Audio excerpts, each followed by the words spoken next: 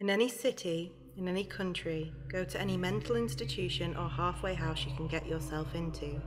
When you reach the front desk, ask to visit someone who calls herself the holder of guilt. Before the worker can answer, shut your eyes tightly and clench your jaw. Count to exactly 20 seconds and then open your eyes. You should find yourself on an unassuming dirt footpath in a moderately wooded area if you're in any other location, then you miscounted the seconds. You have only minutes more to live. If you're on the dirt path, then walk along it. You should feel at all times an eddy of the wind playing against your ear. Should you ever stop feeling it, quickly stand still and shout into the foliage, I freely admit it was my fault! If the little eddy of the wind does not return, then I suggest that you make yourself comfortable and arm yourself, as these woods are now your home for all eternity, and they are filled to bursting with hidden creatures from the lowest pits of damnation, all eager to messily devour you. If the wind does return, then continue along the path as normal. After a long while, you should find a battered little shanty. Knock twice before entering. Failing to knock properly beforehand results in a punishment that cannot be adequately described in any human tongue. Upon entering the shanty, you will find yourself in a clean little kitchen. Quickly shut the door behind you and remain standing, head bowed respectfully where you entered. For Ventily, working the kitchen will be a woman who never turns to face you as she goes about her endless task of working on a meal that will never be finished. If you pay attention, you will notice that she works to an exact rhythm, but this is not terribly important, just an interesting detail. There is only one question to which this woman will respond. Why is it their fate to be used for wrong? Give her a moment. It will take her a while before she gets around to answering. When she does, she will recount in your mother's voice, even if you have never heard your mother's voice, and in explicit detail, every wrong that you have ever visited upon others, no matter how trivial, no matter if it was intentional or unintentional, no matter how shameless, unrepentant, or vile a person you are, or even if your wrongdoings are few or barely extant, you will feel the weight of your wrongdoing pressing down on you. Remain standing in your respectful pose, even as the weight of your wrong increases to unbearable levels. If you ever falter, you will be crushed, doomed to remain a broken heap on the floor of this kitchen, listening to the woman repeat herself forever. Then again, that would mean that you were never worthy of collecting any of the objects in the first place.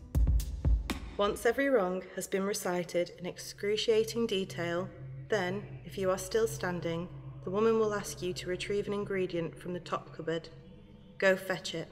Do not open any cupboard other than the one indicated, and do not turn your head in a way that would allow you to see the woman's face. There are fates worse than what would happen if you do either, but the list is very short.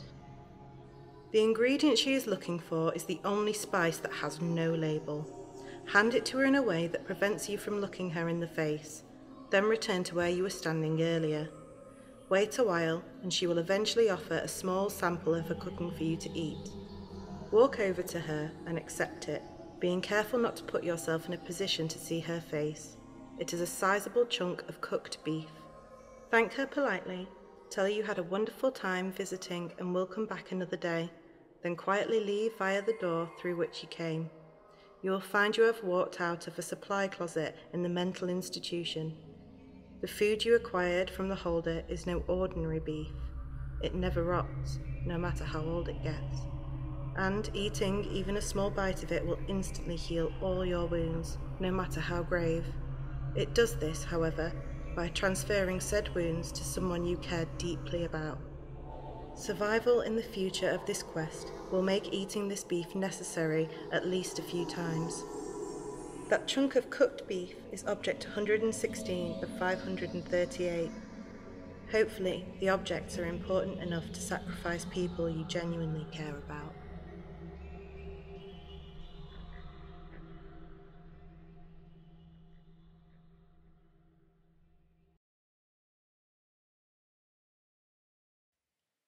In any city, in any country, go to any mental institution or halfway house you can get yourself into. When you reach the front desk, ask to visit someone who calls himself the Holder of Oblivion. If the attendant stares at you and swallows audibly, follow him to a room deep within the building, far deeper than you thought possible. The attendant will open the door and give you a fearful look. If you are brave, enter the room. If you are craven, flee now. Inside the room, there is only a chair. Sit down in it. If at any time you begin to feel fear, get up and leave. You are still free to escape. If you choose to stay, you must sit and wait until the lights in the room flicker. Do not stand, do not get up. If you are not sitting down when the lights flicker, then you will plummet into the void between worlds, a meal for its grotesque denizens. When the lights flicker, you must shut your eyes immediately. Gazing upon the void will destroy your mind. Only when you hear a man clear his throat may you open your eyes. You will be in a dark dungeon, bound to the chair by a web of ebony chains. Surrounding you will be heads impaled with blood soaked spikes, and standing before you will be a man wearing an executioner's uniform. Stare him in the eyes. Do not shift your gaze and do not show even the slightest tinge of fear, for if you do, he will add your head to his collection. The only thing you may say without being beheaded is the question, What will they bring? The executioner will laugh, an inhuman laugh, and then the impaled heads will begin to speak. They will speak of horrors, of executions, of their individual ends, but you must not move your gaze from the executioner you too will be speaking of your death. Eventually, he will speak of his own end, of what they brought to him. When he finishes, he will remove his cowl, revealing a skeleton's face. With a cackle, he will wave his hands, and the world will plunge into darkness. When the light returns, you'll be sitting peacefully in the lobby of the institution. In your lap will be the executioner's cowl. The cowl is object 34 out of 538. You have seen what they bring. Will you stop them?